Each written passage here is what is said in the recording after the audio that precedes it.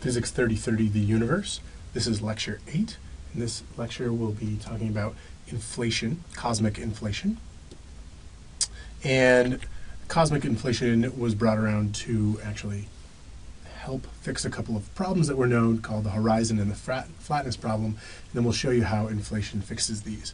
And the horizon problem has to do with this horizon picture. And this is the uh, WMAP data of the cosmic microwave background, right? This is the this is the CMB data.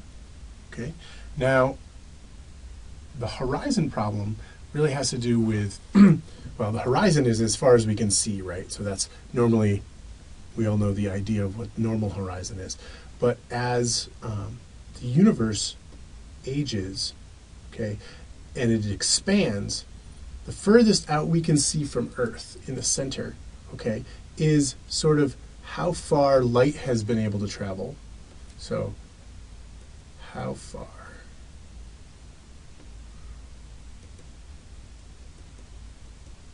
Can travel in the age of the universe. Okay. Since the speed of light is finite, Okay, it can only have traveled so far since the beginning of the universe, and that's as far back in time as we can see, but that's also as far out as we can see, and that's the horizon. And the problem is, if I look at this picture, now remember this picture is kind of a, a smeared out, bent around picture of what would normally be a globe, right? So this end and this end are actually in contact with each other. They're really close to each other. So what I want to compare is something, say, in the center to something on the edge and I'm looking, so something in the center compared to something on the edge is looking in two different directions, okay, from the Earth. And those ends are really far apart, okay? But the, the problem is, is they're really correlated. Now, this map, of course, sort of shows you the differences, but remember that those differences don't occur till the fifth decimal place. So up to 1 in 10,000 parts, they're almost exactly the same and they're very, very correlated to each other. And so to 1 in 10,000 parts, those, uh, those different ends of the, of the spectrum are, uh, are correlated to each other. Okay, so that means that they're correlated and actually, we can actually do the calculation and we know that everything was in thermal equilibrium. So to 1 in 10,000 parts, right, to one in ten thousandth of a degree, the universe at the time of when the CMB was released uh, was in thermal equilibrium. Okay, and the the problem stems that if I look at a uh, photon from this region as compared to this region, and I go back and do the calculation, okay, it shows that those two different CMB photons, right, this this distance, if I look back in time, they were like 90 million light years apart. Okay? But if they were 90 million light years apart, how could they be bouncing around, right? Remember, well, or I will let you know if you don't know, uh, thermal equilibrium is really talking about molecules, okay? And it's talking about them bouncing around in each other. And it basically says that they're the average of the molecules is pretty close to what the energy of all these molecules are because they're bouncing around with each other and they just they all have the same type of energy but they have to bounce off of each other to be in thermal equilibrium and to all know what the temperatures are. It's the same idea as if i bring uh, two boxes two cubes of metal say that are two different temperatures and i just put them in contact with each other right? Whatever the the temperature of T1 and T2 are, they'll basically move to the average temperature. Okay, it's the same idea. Remember, temperature is just a macroscopic way of measuring what the motion of these little molecules is. And so they just have they have to be in some kind of causal contact. We say causal contact, um, which means that you, they have to be close enough so that the, they can move at least, uh, if they're moving at least the speed of light, they can they can touch each other. Okay. Um, but the problem is, is if you go back in time,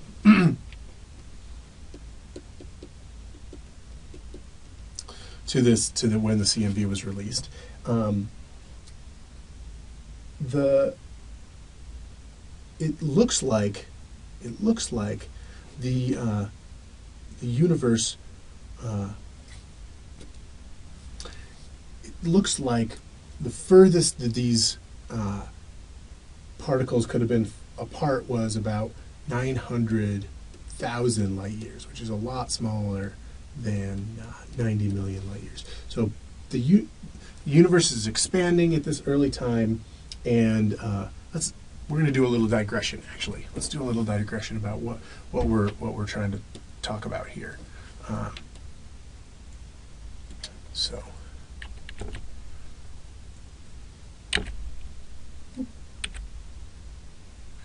Okay, what I want to what I want to talk about is how how it is that something that's only three hundred thousand years old. So at 300 300,000 years old.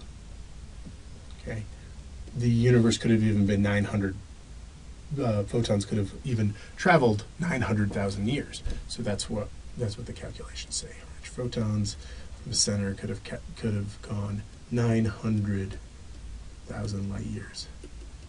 And this is because the universe is expanding. Okay, so let's go back to our pictures of the balloons. Okay, so we have a balloon and we have a little ladybug sitting on the balloon. Okay, and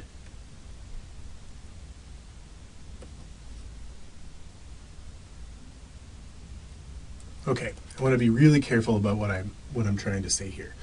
Let's do the you do the calculation and you find out that the photons were 90 million light years apart. But in equilibrium.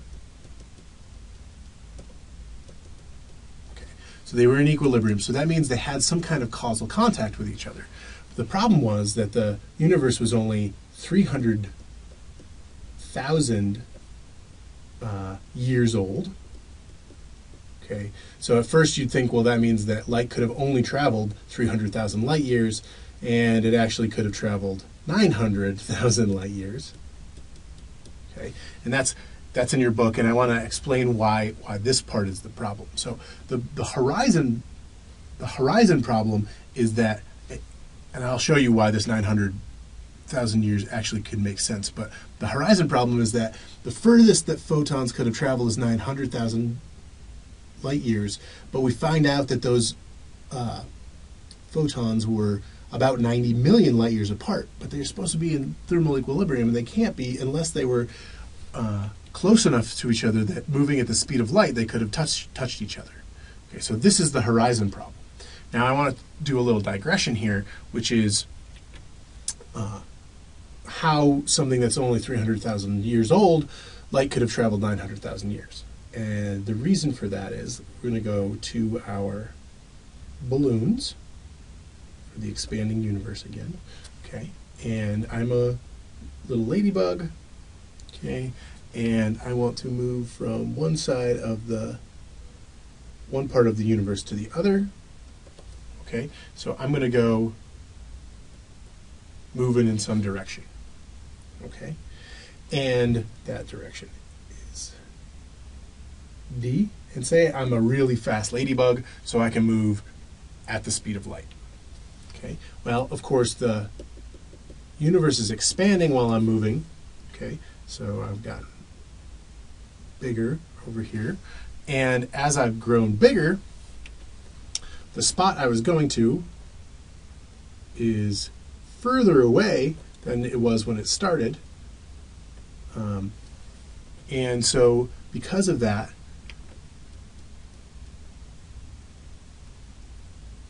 this is where I was, and this is where I'm going to. Because it's expanding out from underneath me, I can actually move faster than uh, I can move a distance that doesn't quite seem to make as much sense with the whole speed of light being the speed limit. The speed of light is being this is the speed limit, but it's the speed limit sort of in space. Okay, I can only move through the space uh, through static space, uh, space time. Let's call it space time because we'll, we'll get to relativity in a little bit here. But I can only move through space time at the speed of light. But then the space time itself is expanding. It's like being on a, a walkway, moving walkway at the airport. Okay, it's moving underneath you, and the universe is the walkway itself, and it's expanding and it's moving out. And so I can move at the speed of light on the walkway, and I, move, I can move further um, than I normally would be able to. Okay, so that's why it's 900,000 years instead of 300,000 years. Um, there's a little bit of a description about that in your book as well. But the whole problem is that that 900,000 years does not jive with that 90 million years.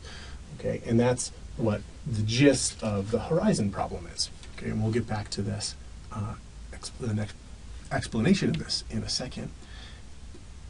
Okay, and we can move to the next problem. So the next problem has to do with the curvature of the um, the universe, and this is called the flatness problem. We haven't talked much about curvature. Okay, curvature. You know, a lot of you probably have ideas of what, what curvature is, and it's, it's really uh, all about general relativity, Einstein's theory of gravity.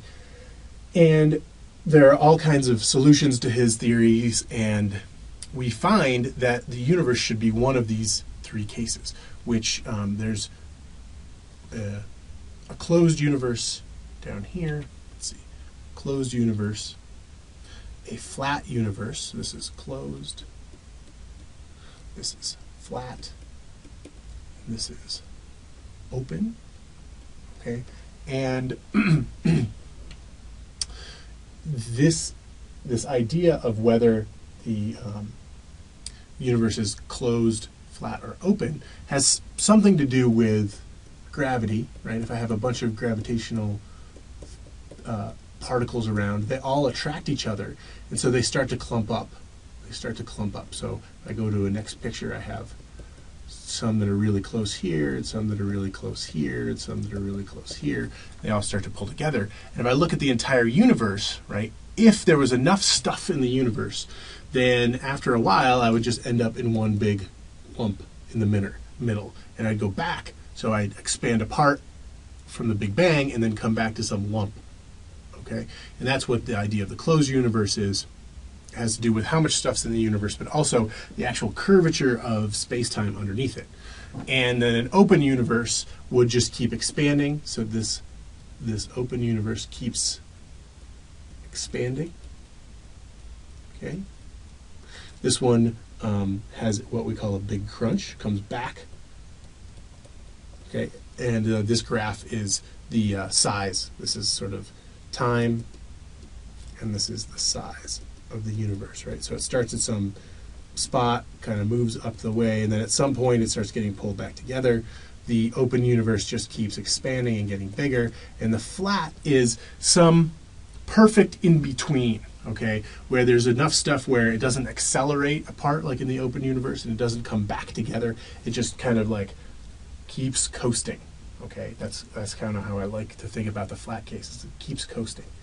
And there's something that your book refers to, and cosmologists refer to as the critical density. Okay, and this critical density um, is really has to do with expansion and the braking due to uh, and the braking due to gravity, right? Uh, which I was just talking about above.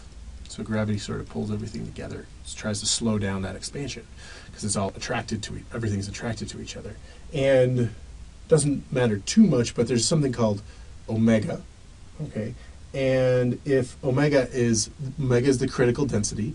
If it's less than one, then there's not enough stuff for gravity to really expand it. If uh, omega is greater than one, then um, the universe contracts. And if omega is exactly equal to one, exactly equal to one, that's the flat case. Okay. Now, the problem is, the problem is that it turns out that to our measurements, to a very, very close, very, very close, uh, we, the universe is flat. Now, this is a very special number, this this critical density, and we just scientists do not like this. We're bothered by um, this idea that the universe, this one number, is exa- almost exactly what it needs to be. And your book talks a little bit about how where this thing had to have started. It has to be in like the ninth decimal place. So it could have been between point, you know, one point zero zero zero, lots and lots of zeros, one and point nine nine nine nine nine nine nine nine. So between those two numbers, which is pretty pretty exact, and we don't like this. And so this is this is what's called the flatness problem. Okay, because it turns out the universe is flat, and we don't know why. Okay, in general, over the average of the entire universe, it is flat. Okay, and so we get to a gentleman named Alan Guth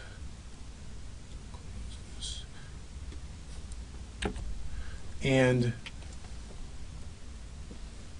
Alan Guth was actually a um, particle physicist. And he was trying to explain some problems with particle physics and theories about the Big Bang and what should have happened. And he came up with an idea that said, all right, maybe the universe went through something called inflation. Okay, and inflation. So first of all, inflation is a synonym for uh, expansion, right? So this is something that happens all the time in physics that you need to be careful of, right? The expansion of the universe is just the regular old expansion from the Big Bang. Okay, everything gets blown apart. Regular old, I guess. Uh, regular old expansion. Everything gets blown apart and is expanding. Inflation is something that is an exponential uh, an exponential expansion, a really special time in the universe when we went through not just expansion, but let's call it uber expansion. Um, and again, this happens all the time in physics. We words that we use colloquially as the same uh, so things like momentum or force or energy, those are very specific things in physics. And so when I say expansion, I mean one thing, regular old expansion. When I say inflation, I mean this very special time when we had exponential expansion. Okay, and there's a little bit of talk about uh, what the exponential, what exponential means in your book, and I really recommend uh, you taking a look at it. There's this old paradigm uh, or uh, old parable about uh, wanting a reward that was uh, just on a, on a chessboard, which many many of you may have heard, which starts with one grain of one grain of rice on the first uh, on the first square and two on the second, four on the third, eight on the second. So you just keep doubling it over and over again. And this is exponential growth because it's two to the n, where uh, n ends up being the uh, number of squares on the chessboard. Okay.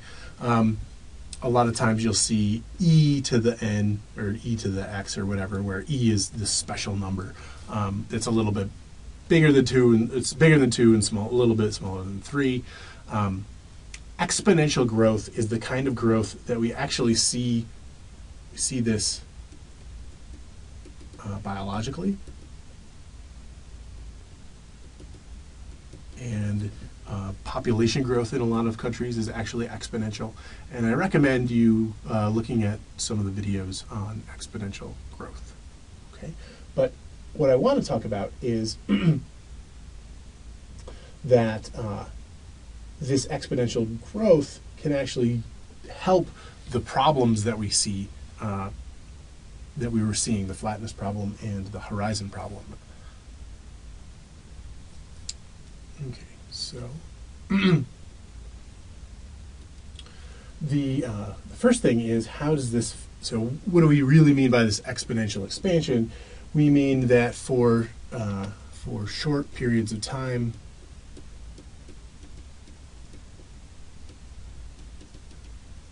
Okay, the the distances, right? Distances would go from d to something like d times 10 to the 30.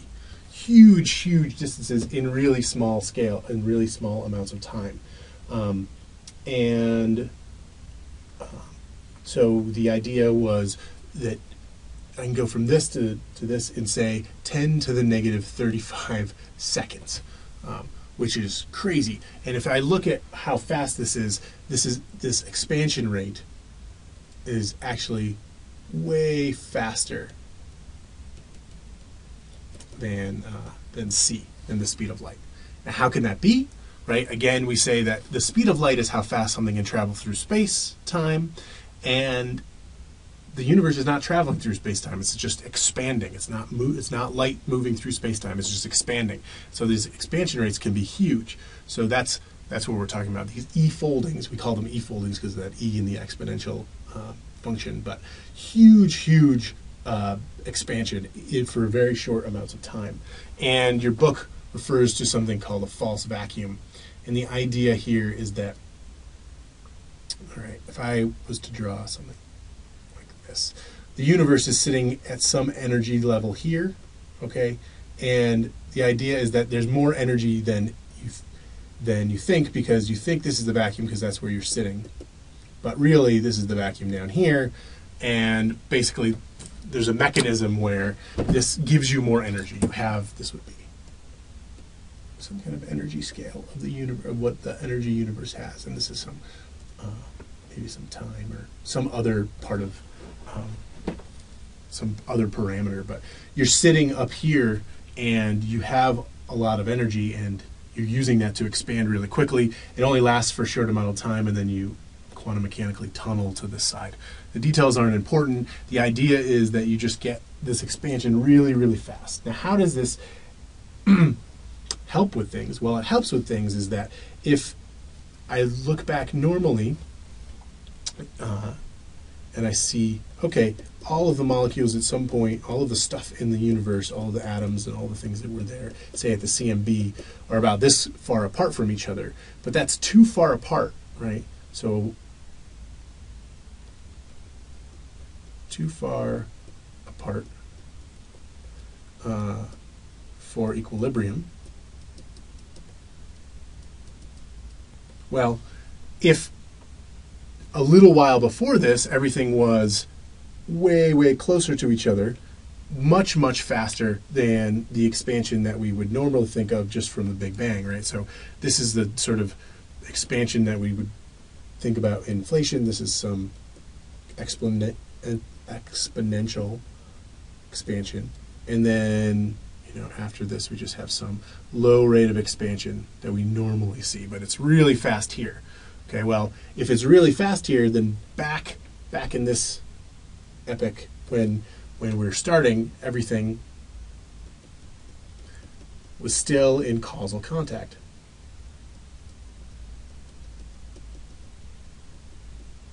And then everything can be in equilibrium.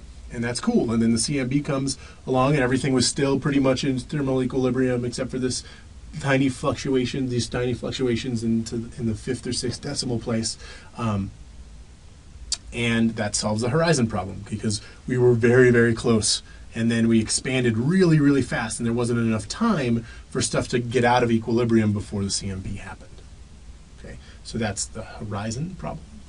Fixed horizon problem. Check. Okay? And then we want to think about the other problem, which is the flatness problem. Okay? And the flatness problem, you know, start up here, okay, is um, so the idea is that if I'm starting with something that is not quite flat, so what we want to think about is we the problem is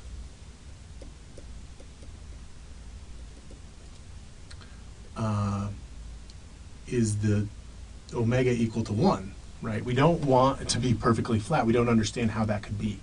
And if it didn't start out perfectly flat, then we would have seen the everything would have flown apart too quickly, or it would have already collapsed on itself. That's what the, all of our models say. Okay, and so the idea is we want to start with something curved. So say we start with something curved. Okay, start with some ball, and um, I'm looking at this thing and it's curved. Okay, now when it expands exponentially, right, and I start looking at the edge of it, all right, the, the curvature, the curvature from here to here is really easy to see. The curvature from here to here is harder to see, and then when I get even bigger, right,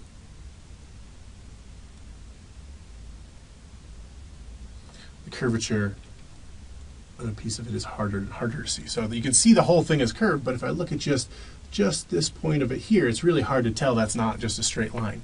This is the same exact thing that kept us from thinking the Earth was round for the longest time, right? The Earth, um, the Earth is round, but it looks flat to us locally, and it's because it's so big that we don't see it. Well, this this uh, expansion, this exponential expansion,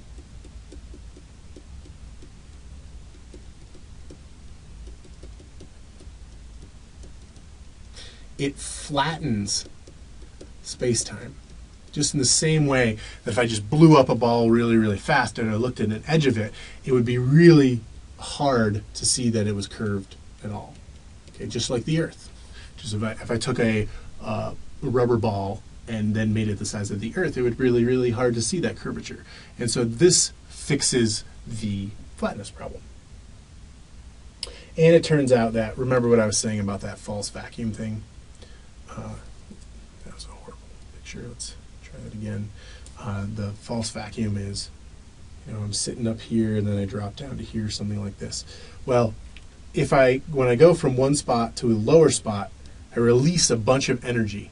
And this also sort of uh, points to where most of where most of the stuff in the universe came from. So where most of particles came from. That release of energy,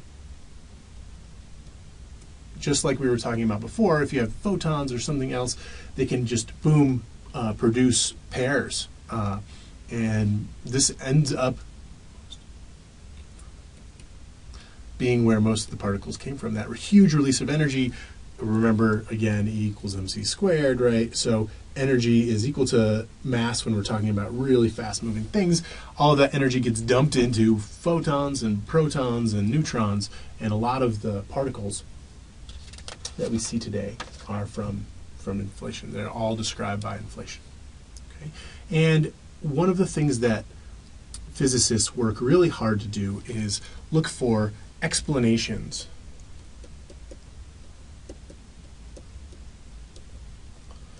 of mechanism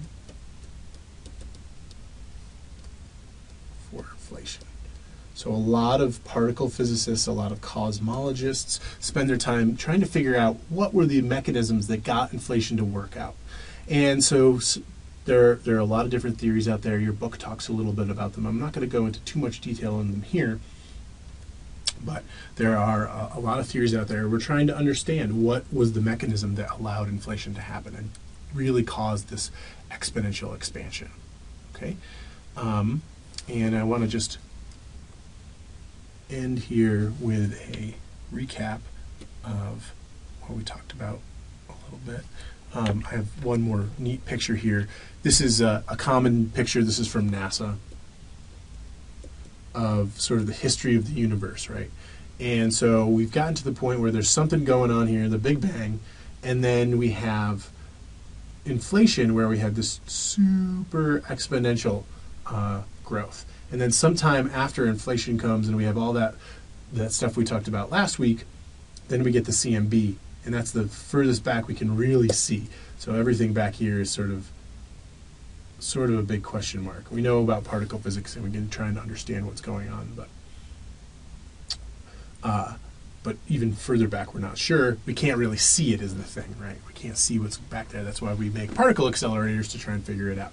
We see the CMB, the microwave background radiation is released, and then we we have what's called the dark ages because stars haven't coalesced, and we're going to start talking about that, the first stars, uh, next week, and then all of this galactic evolution as we move on, and this this line here shows that yes, the universe is expanding, um, and it's even accelerating, which is what dark energy is all about.